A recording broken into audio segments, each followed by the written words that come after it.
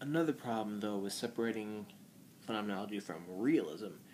Uh, in a previous video, I talked about separating phenomenology from idealism, and I, and I talked about how the stance, you know, the dictum to be things themselves by Husserl is somewhat of a problematic statement because we are suspending belief as to whether there is, you know, a real mind independent being beyond this, or whether this phenomena is mind dependent. We suspend belief on that. Uh, and the, the problem with that is that based on what you say, you can bring closer phenomenology and idealism, or, or, or, or bring closer phenomenology and realism.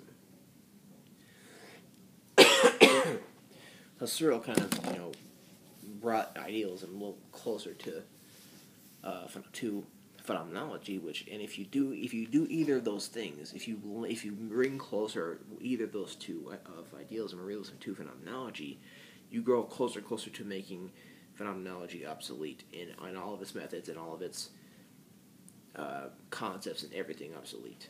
All of it. Because um, the method is to suspend all, all of those beliefs, is, is to suspend belief in mind dependent or mind independence. It's just saying that the phenomena is what is real for us, and that's what we are, and, and that is what we are going to study. To, to the things themselves for Husserl. the problem, another also with phenomenology is that depending on what you say, you know, you can also bring closer to, to, to phenomenology realism. Uh, realism is, or uh, objectivism, or, um, yeah, that means that there's something real and mind independent beyond what I'm seeing. Now, there's varying theories uh, as to whether what I'm seeing is real, mind in, independently real, as to whether what I'm seeing right now is dependent from myself, is what this remote is dependent for, from myself, and what I'm seeing is a mind independent entity, or this phenomena happens to be,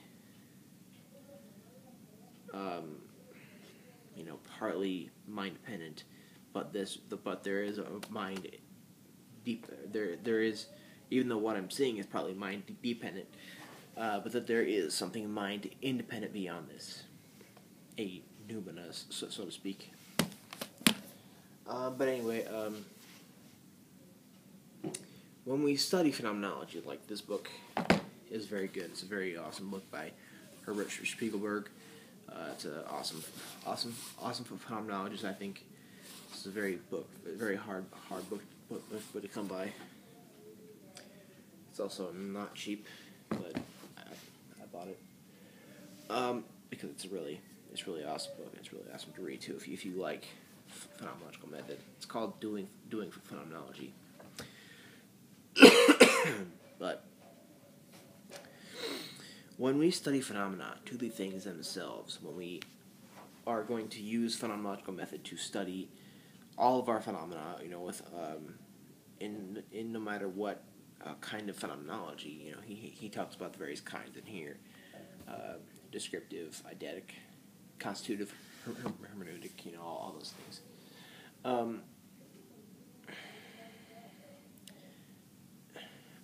in, in, in, in, any, in, any, in any kind of phenomenology you do, you're going to be studying the phenomena, of course. You're, and you're going to say, though, the only, the only uh, belief that you're going to say about these phenomena as to their existence and such is that this is real for the subject. This is real for us because we see them. This is the given. It presents itself. So, this is what is real for us, and no more is is to be said. Is to be said about it. But but but we have to examine the these these structures, or we have to uh, do various things about these phenomena, and that's it. But that comes close to saying that what we see is real, because if you read Heidegger, being in the world, that that unity of being, being in the world, essentially is saying it's one unity of being. It's not I'm here, that's there. I'm here, the world is there. It's one unity of being together. And that could be phrased to mean that's real. It's real. The phenomena are real. Uh, you know, real for everyone, especially if you even talk about the problem of evil or the, the problem of uh, other of other minds, not the not the problem of evil. but you could come close to bringing phenomenology and realism closer. Um, but there is a certain kind of unwieldy characteristic about the phenomena of phenomenology because um, it's an unwieldy kind of concept of how you of how you characterize the subject's relation to to to, to the phenomena, and I would like to, to characterize it as how Heidegger does it, as being in the world and all of the relations of being with or being with, being as care, um, and all these things. That is some kind of concern over all these things, you know, um, concern about them and with relation to uh, temporality, you know, facticity and, and tra- transcendence. Um, so if you read Heidegger, you know, I mean, even if you read Husserl, you know, it's kind of clear what if the whole dictum of of, of phenomenology is clear. But this awesome writing, in, in my opinion, is this is this is what what you might call hermeneutic phenomenology. But um, what is stated in here uh, as unity is of being, uh, not me here, that's there, I'm here, the world is there, but it makes a unity of being. And Husserl gets at the meaning of being as its relations of being with the phenomena. um,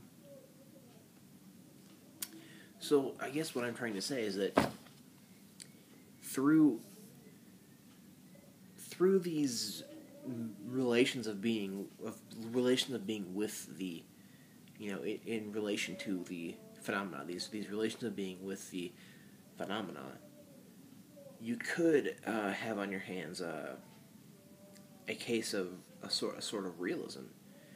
Because the the the because phenomenology says to to the things themselves which could mean that the phenomena is what's real for the for the phenomena the whole says that this is that the phenomena, the, the things themselves, are what's real for the subject, for Dasein. And